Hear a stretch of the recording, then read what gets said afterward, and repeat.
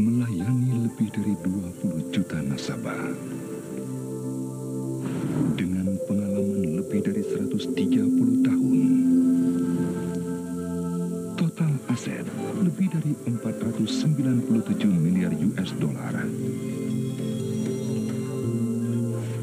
Kini, Hong Kong Bank menjadi HSBC.